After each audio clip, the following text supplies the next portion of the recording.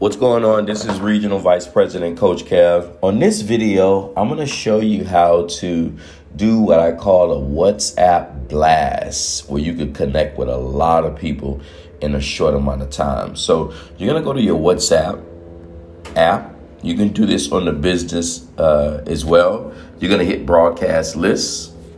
Then you're going to look at the bottom where it says new lists, right? Don't make the mistake I did by putting new group. Don't do that. Put broadcast list and then hit new list.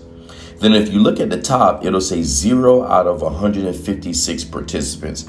Here's why I love this. You can actually put 256 people in a group, send them one message, and everyone will not be in the group. They're to feel like they had a message individually. This is a game changer. I'm sure you remember when someone's added you to a group and everyone's in the group, you they start leaving left and left and right, including you, right? So right now we're in the A's. So let me just go ahead and click the A's, and as you can see, it starts to add up, right? Some of pe- some of these people are already uh, in my business, so I don't want to just send them uh, a message, but I just wanted I wanted you to to, to check this out, um, just to see how it's set up right?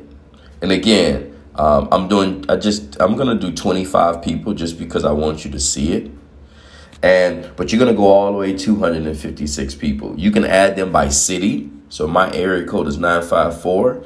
So I can literally just start adding people that's in my area.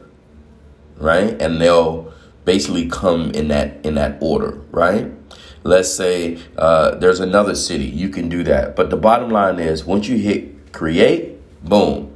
Now all of these people are in this group. So I could just say, good morning. Oh, it's, it's afternoon. So I'll say, good afternoon.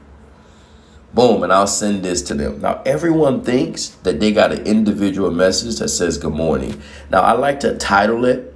Uh, I'm going to go here and I'm just going to put test because, you know, this is a recorded video. I'm just showing you